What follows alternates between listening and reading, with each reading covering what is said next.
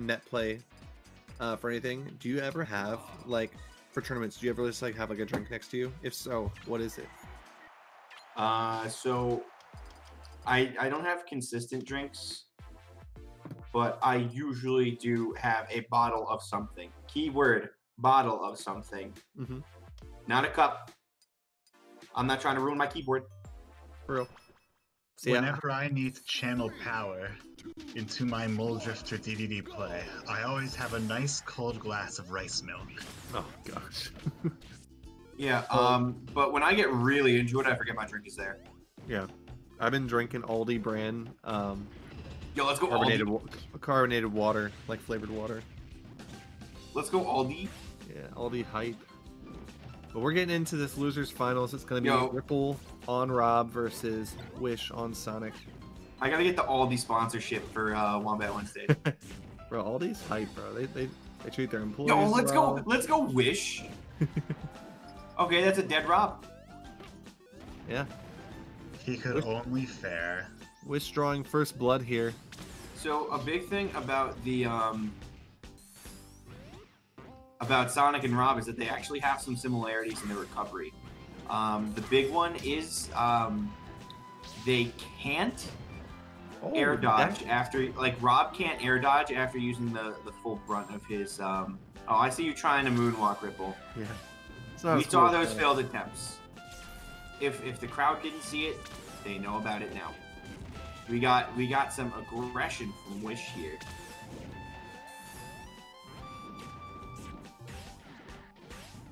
I'm really curious to see how this neutral ends up playing out because Sonic, I feel like struggles against projectiles, right? Because it's very non-committal ways to deal with neutral, and Sonic kind of just wants to run in whenever an opening pops up. So like gyro looks really annoying for Sonic. Rob or Rob specifically has very non-committal projectiles. Yes. Ooh, a good shark to get that up air, taking away Ripple's second stock. I mean, so far this is looking like relatively even in a lot of areas, but Wish has just been calling out Ripple's uh, recoveries, and Rob knowing or being known to have kind of a few options when it comes to. All right, he's out of boosts. Oh, he landed. Oh, yeah. How many does he Uh, get? He I- gets I- four, He gets three. three. Okay. So I think it's, it's like especially impressive that uh, Yeah, Wish is able to uh, score all these sharks because you need to jump just the right time. Because if you miss the jump, then Sonic gets in the air and his airspeed is less than stellar. And you can't just drift to your opponents. you're just up there and miss because Sonic is a newborn child while he's in the air, movement wise. Mhm. I just want to go ahead and reiterate how well Wishes is playing the offstage game versus uh, Rob right now. Incredibly well. hmm He like went all the way out there and ended with an air. Oh my gosh, Ripple trying something of his own there, but getting triple up aired in response Ripple. for it. Triple on the ripple. Woo! Oh, bait triple on One the more. ripple. You've heard of Elf on a Shelf. Oh no, not these. Oh, Oh, barely you didn't jump. that. You didn't do the second jump. You could have ended it right there. Although, back air looking for it. That's it. And, and one missed alleged dash led to that happening. That was a very deci- uh, decisive first game from Wish. Yep, we're looks like we're gonna stay on Rob. I mean, the game was the game was close, right? So the main thing that has to change here to shift it in Ripple's favor is to find a way to just make it back to stage more safely and mix it up because that was the main thing I noticed at least that was separating them apart was that Wish was kind of capitalizing on every edge guard opportunity and just keeping the, the pressure high. But we are going to go to FD. That's an interesting pick um, for for Wish. Um, I think that I I think Ripple went here not necessarily to um, Or sorry, be Ripple. better at zoning. Yeah, uh, I think it's more of like uh, I'm trying to think of the correct way to articulate this. He's sick of Sonic getting away, Right. I mean, and there's no there's only one way to go. yeah, that's true. It's it's it's burn your jumps. So like, it, it's definitely FD is a stage where your move your approaches your movement, everything you do is a lot more committal. Except Well, for you your also projectiles. think it's the same way though, because Rob now has to pretty much go to two ledge or onto stage. He doesn't get any options.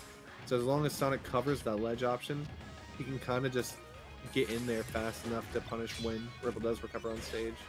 That is correct. So it's like a dou- another double-edged sword. I feel like FD is the definition of a double-edged sword. Mhm.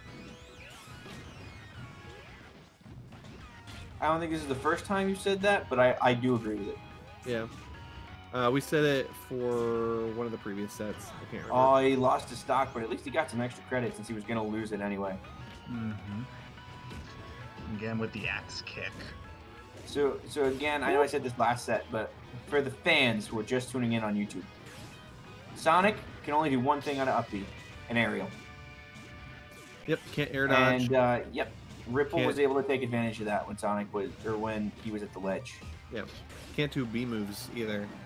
No B So- moves, no air dodge, Shouts to B only A moves, the way. moves. Shout outs to B moves. Misfiring everybody. Oh, sorry, Mo, go ahead. So he can't even double jump? Nope. Once you've up bead, you're just left with whatever you had left. Your Hello, only Team option is Welcome. aerial. So I, I'm not gonna lie, I'm glad I came back. I was hoping to see this. Let's go. Yeah, this is this is gonna be a hype set. Um, already has been so far. It was relatively close. One thing that we were noticing was that uh, Ripple is just getting edge guarded a lot, and that's been the the big difference that shifted it for Wish's favor. So Rob has really good frame data, but it's crazy to see Rob struggle to do something against Sonic's offense. Yeah, and Ooh, gets right outside of that get up attack. Um, see, I can see this being an annoying like matchup because I feel like Robs want to, especially if they want to boost and like you know gain some footing in neutral. Like Sonic is fast enough to interrupt whatever m- move they honestly pick or whatever they're really going for. If you just kind of cut him out Oh my perfectly. Gosh. Wish is like goes ham off stage. How often do these guys play each other? I know they're both in I, I would Court. assume not very frequently. I know they're in Chad Court, so they might play pretty Oh. often. But Ripple actually one. takes it. FD was a great two. choice for him. Yeah, there was kind of two stocks that looked the same there, where uh, Wish kind of just fared at the ledge and died for it after up being. I know one of them was pretty much he was gonna die if he didn't, so at least get the damage. But yeah, we're gonna see a couple bands here. Where where does Wish want to go? He wants to go to Metal Cavern. Okay. I, I'm I'm one of those people who loves this stage. I think this stage is great. Um, supplies like some really unique situations for uh, a lot of different characters to really I'm make the most. Like tech chasing on platforms on this stage is super fun. Hold on. just a sec. You're kind of low, by the way. I don't know if uh, it's for everybody else. I have to turn you up. But yeah, um, already starting off this game, Wish has a lot of pressure off stage, and just continuously being thrown just back and forth. Ripple struggling to regain that center stage. Woo! Okay, okay, okay, okay. Ooh, they both go for a grab, but Sonic has the shortest grab range in the game. it, it's interesting watching like high level players because they just wait out things like spot dodge. They pick up on like panic options. So you'll see like that get up option, and then Ripple just waited for the spot dodge to respond to it. So like there's little small things like that that a lot of players don't really pick up on. They're just trying to punish it that moment, like they come up. See, I, I can completely understand uh, why Wish went to the stage here. Yeah, Now that I'm seeing it, uh, this top platform is just just opens up a whole world. It's like when Luigi That- goes here. exactly. That's kind of Um, what I'm saying. Is Sonic seems like one of those characters that really. Oh, okay, okay. Oh, he hit so- him and he didn't get his uh, he didn't get his uh, boosts back. But when you get hit out of that up B, you do get your air dodge back. Oh, okay. Oh, that makes sense actually. Yeah, it's it's only fair. I love the way that uh, Wish goes about playing Sonic. And he's been playing like Sonic for years, but I always felt like he played him the, the right way or the best way. Like instead of the just right way to play. yeah, but I think that the right way to play Sonic is if you're having fun. What I mean by that is he's, he's he's using his spacing tools. Sonic has pretty good normals, and like with his forward air, gets a lot of range out of it. And a lot Yeah. of Sonics want to just press B in your face. And his spin moves, though they're fun, uh, they're negatively disjointed and easy to like.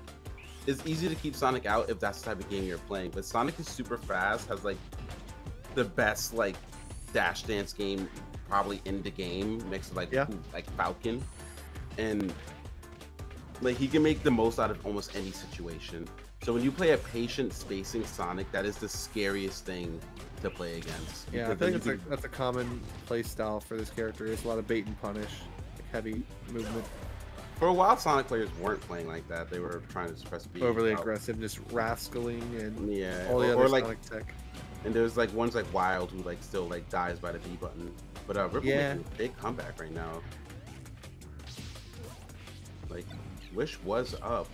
Mhm. Well, we've already seen after game two that Ripple can like has what it takes to deal with the like. Oh gosh, that it's a crazy turnaround, but to deal with a lot of what Sonic kind of throws out. The main area he was struggling was getting back to stage, and it's already shown that he's recovering a lot more frequently now. Not just recovering, but also gaining back ground on the stage because there were situations where he'd just get regrabbed and sent right back off. Nair's not going to quite kill this time. However, Ripple's at a very rough percentage here if he were to get grabbed again. So, so there's there's a little trickery I've been noticing here. Mhm. I don't think Oh, Rob's arms beautiful. are grabbable. That was beautiful. Really? Yeah. So when you notice, uh, Sonic has the shortest grab range in the game. So No um, way. he's, Really? he's tried he's tried grabbing Rob when his arms are right in front of him a few times, and it just hasn't been grabbing. Uh, I know there's some there's some uh, like hitbox nerds in the uh, in the chat right now. So if somebody could tell me if um, Rob's arms are grabbable hurt boxes, that'd be great. This is a really close game, by the way. They're down to their last stock, both high percents, Yeah, sitting around Wish- 100. No options there for wishes, but somehow lands. Looks for a tech option here, misses the follow up.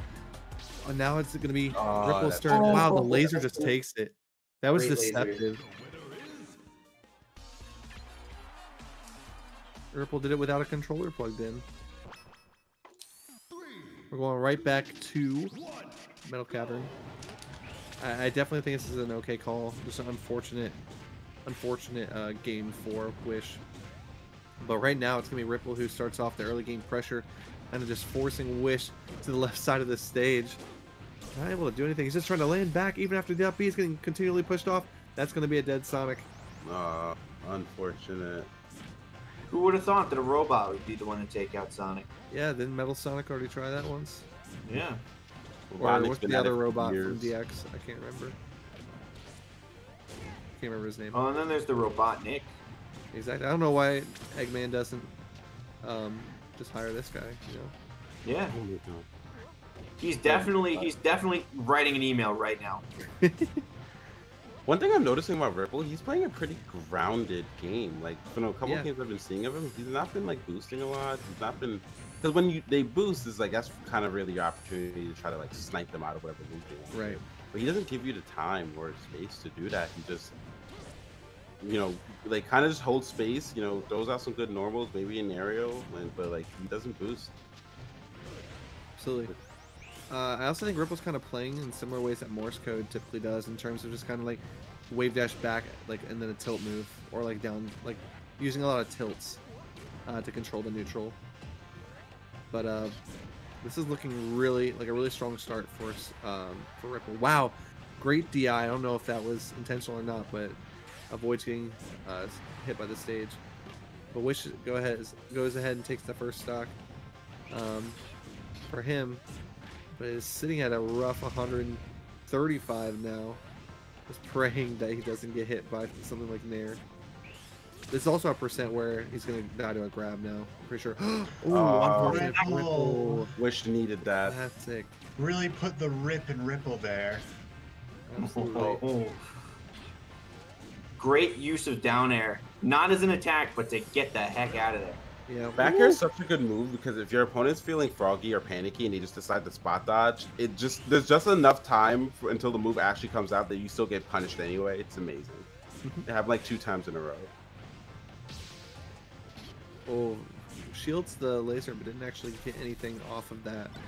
And here we go, just sitting back, throwing these in, just finding an opening. But that, wow, the angle that that sent at, because he like slid off the stage. There's a down smash into an off stage. Okay, he's just gonna play it safe. He does not want to be on the wrong side of this edge guard. Great drift. Let's turn around and immediately boost back into fair. No, Yes, yeah, dude. Nothing you can do. that situation, wish upbeat really, really early, and it was kind of left with nothing, just falling down. I see what you mean. Where the most Morse code esque playstyle, where he's just kind of wave dashing back, letting him come in, and then like punishing him for Yeah. overextending. That's what I'm saying. It's very reminiscent of Morse code.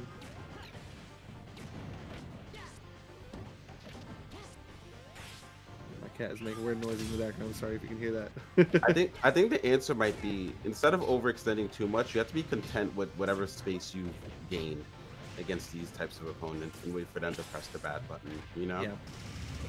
This is this is really close, despite the unfortunate SD from. Uh, the roll. He's been almost every like roll away that like Wish has been doing has been getting caught. Has been sn- being sniped out by these side beats from Ripple. Good stuff. Oh, okay. He's- Wish has to be very careful with these upbeat, these high upbees, because Yeah, he's Wish has lost been two like, stocks this game to that. yeah, and Wish has been uh, doing some very uh, committal edge guard attempts. So Ooh, scary. Going for the going for like two Randy smash attacks in a row. You know, I think that could have been to it be for patient. Ripple You need if to uh, be patient. Wish stayed on ledge. Oh, this is scary. Uh, it's gonna be it. Ripple takes the set.